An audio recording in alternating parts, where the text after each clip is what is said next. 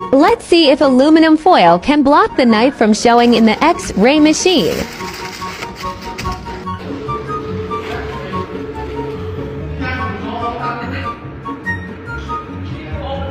Nope,